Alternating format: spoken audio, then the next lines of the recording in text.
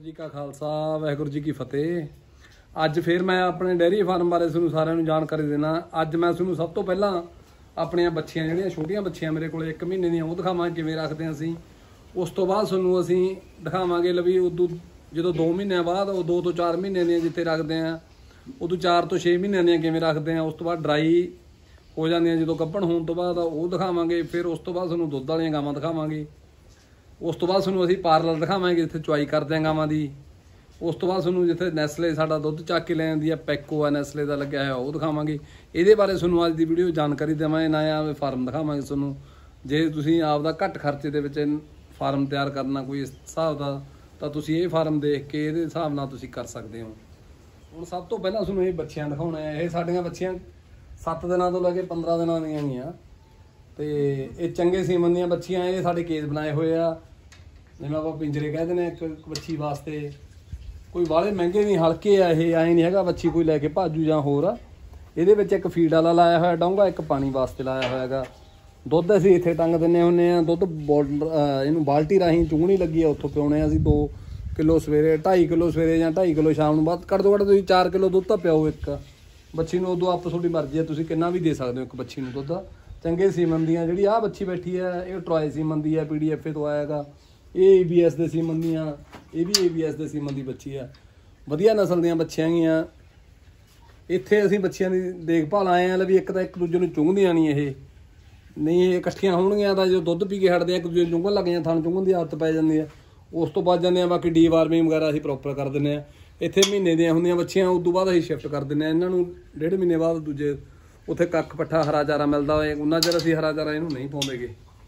ਹੁਣ ਇਸ ਤੋਂ ਬਾਅਦ ਆਪਾਂ ਦੂਜੇ ਪਾਸੇ ਜਾਂਦੇ ਹਾਂ, ਤੁਹਾਨੂੰ ਦਿਖਾਉਣਾ ਉਧਰ ਜਿਹੜੀਆਂ ਬੱਚੀਆਂ ਇਦੋਂ ਵੱਡੀਆਂ ਰੱਖੀਆਂ ਹੋਈਆਂ ਨੇ ਤੋਂ ਬਾਅਦ ਅਸੀਂ ਇੱਥੇ ਬੱਚੀਆਂ ਰੱਖਦੇ ਆ ਇੱਥੇ ਖੁੱਲੀਆਂ ਰਹਿੰਦੀਆਂ ਬੱਚੀਆਂ, ਇੱਥੇ ਐ ਲਈ ਤਿੰਨ, ਚਾਰ ਮਹੀਨਿਆਂ ਤੱਕ ਜਿੰਨਾ ਚਿਰ ਦੁੱਧ ਪਿਆਉਣਾ ਬੱਚੀ ਨੂੰ, ਦੁੱਧ ਪਿਆਉਣ ਤੱਕ ਬੱਚੀ ਅਸੀਂ ਇੱਥੇ ਰੱਖਦੇ ਆ ਇੱਥੇ ਤੂੜੀ ਵੀ ਪਾਉਣੇ ਆ ਇਹਨਾਂ ਨੂੰ ਫੀਡ ਵੀ ਪਾਉਣੇ ਆ ਤੇ ਜਿੰਨਾ ਥੋੜੀ ਮਾਤਰਾ ਵਿੱਚ ਸਾਈਲੈਂਸ ਦਿੰਨੇ ਆ ਫਿਰ ਇਹਨਾਂ ਦਾ ਹਾਜ਼ਮਾ ਵਗੈਰਾ ਠੀਕ ਰਹਿੰਦਾ ਗਾ ਤੂੜੀ ਨਾਲ ਨਾ ਹੋਰ।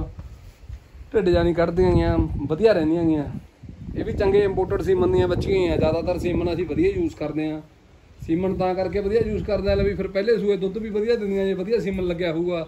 ਜੇ ਆਪਾਂ ਹੁਣ ਇੰਨਾ ਚਿਰ ਹੋ ਗਿਆ ਡੈਰੀ ਕਰਦਿਆਂ ਨੂੰ, ਜੇ ਆਪਾਂ ਚੰਗਾ ਸੀਮਨ ਨਹੀਂ ਲਵਾਵਾਂਗੇ, ਮਾੜਾ ਸੀਮਨ ਭਰਾਈ ਜਾਵਾਂਗੇ, ਫਿਰ ਆਪਣੇ ਕੋਲ ਦੁੱਧ ਦੀ ਪੈਦਾਵਾਰ ਨਹੀਂ ਪ੍ਰੋਪਰ ਆਊਗੀ, ਨਾ ਆਪਣੀ ਬਰੀਡਿੰਗ ਨਹੀਂ ਵਧੀਆ ਬਣੂਗੀ। ਵਧੀਆ ਸੀਮਨ ਦੀਆਂ ਬੱਚੀਆਂ ਆਈਆਂ ਚਲੋ ਹੁਣ ਆਪਾਂ ਗਾਹਾਂ ਜਾਂਦੇ ਤੋਂ ਅਗਲੀ ਸਟੇਜ ਤੇ ਤੋਂ ਬੱਚੀਆਂ ਉਧਰ ਜੋ ਵੱਡੇ ਫਾਰਮ ਚ ਲੈ ਜਾਂਦੇ ਇਹ ਤੋਂ ਬਾਅਦ ਅਸੀਂ ਬੱਚੀਆਂ। ਉਸ ਤੋਂ ਬਾਅਦ ਜੋ 4 ਮਹੀਨਿਆਂ ਤੋਂ ਉੱਪਰ ਹੋ ਜਾਂਦੀਆਂ ਬੱਚੀਆਂ, ਫਿਰ ਅਸੀਂ ਇੱਥੇ ਲਿਆਉਣੇ ਆ ਵੱਡੇ ਫਾਰਮ ਦੇ ਅੰਦਰ ਆਪਣੇ ਦੇ।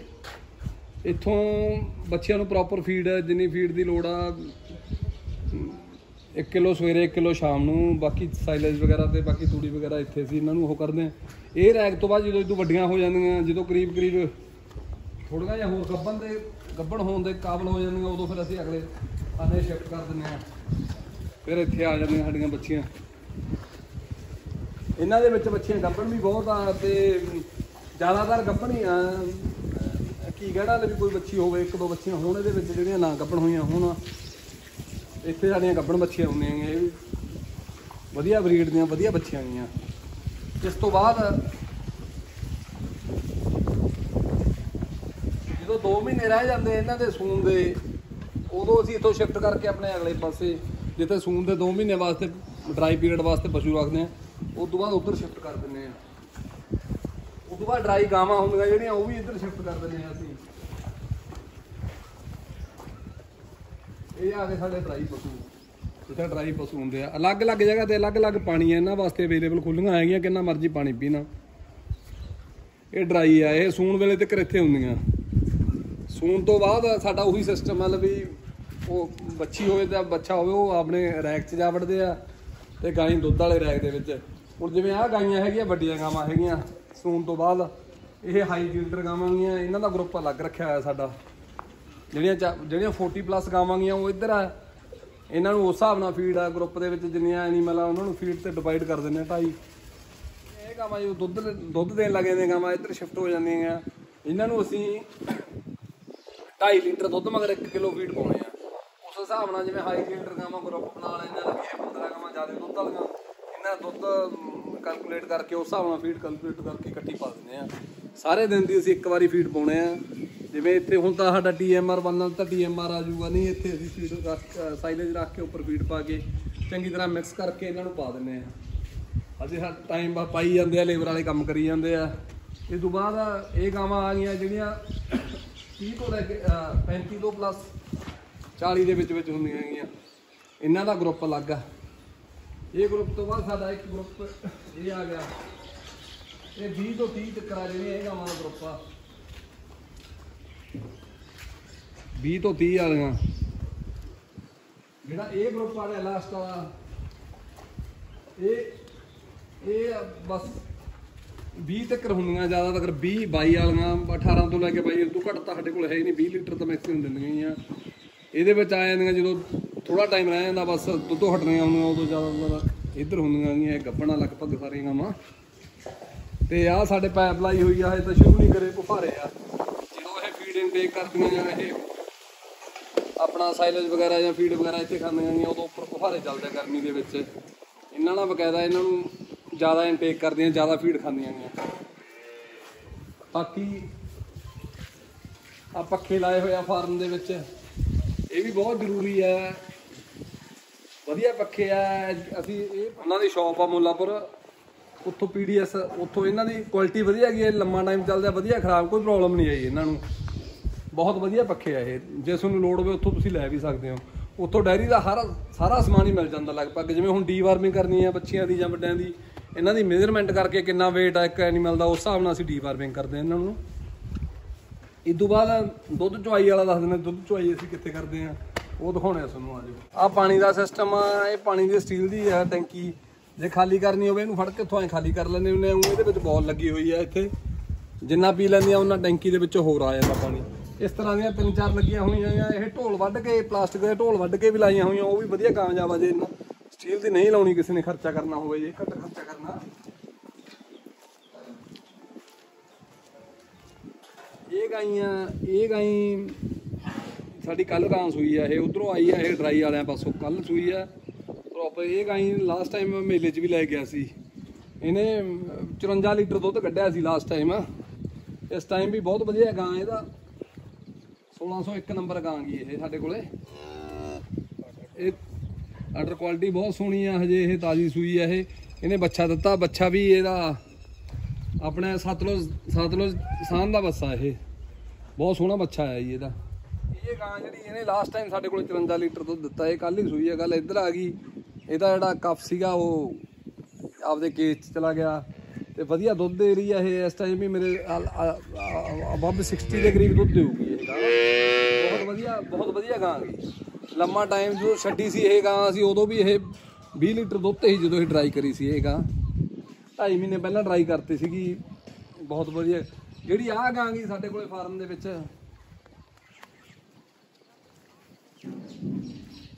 ਇਹ ਇਹ 35 ਨੰਬਰ ਆ, ਇਹ ਇਹ ਪਲੱਸ 60 ਆ। ਇਹਨੇ ਵੀ ਦੁੱਧ ਬਹੁਤ ਵਧੀਆ ਕੱਢਿਆ, ਇੱਥੇ ਲਗਭਗ ਆ, ਸਾਰੀਆਂ ਗਾਈਆਂ ਬਹੁਤ ਬੈਸਟ ਆ। ਜਿਹੜੀਆਂ ਆ ਫਸਟ ਕੇਜ ਦੇ ਵਿੱਚ ਆ। ਉਹ ਤਾਂ ਸਾਰੇ ਫਾਰਮ ਦੀਆਂ ਗਾਵਾਂ ਹੀ ਵਧੀਆ ਬਾਈ, ਜਦੋਂ ਕੰਮ ਕਰਨ ਲੱਗ ਜਾਾਂਗੇ, ਐਂ ਤਾਂ ਹੈ ਨਹੀਂ ਆਪਾਂ ਇੱਕ ਦਿਨ 'ਚ ਕਾਮਯਾਬ ਹੋ ਜਾਾਂਗੇ। ਹੌਲੀ ਹੌਲੀ ਜਿਉਂ-ਜਿਉਂ ਆਪਣੀ ਬਰੀਡ ਸੁਧਰੀ ਜਾਊਗੀ। ਜਦੋਂ ਅਸੀਂ ਕੰਮ ਸ਼ੁਰੂ ਕੀਤਾ ਸੀ ਉਦੋਂ ਤਾਂ ਸਾਨੂੰ 20 ਵਾਲੀਆਂ ਮਸਾਂ ਹੀ ਮਿਲਦੀਆਂ ਸੀ 20 ਕਿਲੋ ਦੁੱਧ ਵਾਲੀਆਂ ਗਾਵਾਂ। ਅੱਜ ਕੱਲ ਤਾਂ ਤੁਸੀਂ ਲੈਣੀਆਂ ਚਾਹੋ, ਤੁਹਾਨੂੰ 40 40 ਕਿਲੋ ਵਾਲੀਆਂ 30 30 ਕਿਲੋ ਵਾਲੀਆਂ ਗਾਵਾਂ ਆਮ ਮਿਲ ਜਾਂਦੀਆਂ। ਉਦੋਂ ਤਾਂ ਅਸੀਂ 20 ਕਿਲੋ ਵਾਲੀਆਂ, ਇੱਕ ਦੋ ਹੀ ਥਾਈਆਂ ਸੀ, ਉਹ ਰਾਜਸਥਾਨ ਚੋਂ ਲੈ ਕੇ ਆਏ ਸੀਗੇ। ਉਸ ਹਿਸਾਬ ਨਾਲ ਅਸੀਂ ਰਾਜਸਥਾਨ ਚੋਂ ਗਾਵਾਂ ਲਿਆ ਕੇ ਦੋ ਤਿੰਨ ਲਿਆਂਦੀਆਂ ਸੀ ਰਾਜਸਥਾਨ ਦੇ ਵਿੱਚ। ਉਹਨਾਂ ਦੇ ਚੰਗੀ ਨਸਲ ਦੇ ਟੀਕੇ ਭਰ ਕੇ ਹੌਲੀ ਹੌਲੀ ਹੌਲੀ ਉੱਥੋਂ ਬਰੀਡ ਚਲਾਈ ਅਸੀਂ। ਪਹਿਲਾਂ ਬਕਾਡੋ ਦਾ ਟੀਕੇ ਆਉਂਦੇ ਹੁੰਦੇ ਸੀ, ਉਹ ਭਰੇ ਉਹਨਾਂ ਦੀਆਂ ਗਾਵਾਂ ਨੇ 40 40 ਲੀਟਰ ਦੁੱਧ ਦਿੱਤਾ।